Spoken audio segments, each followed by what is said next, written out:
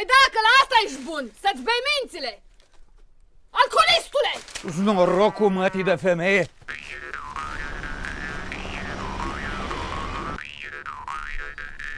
Stop!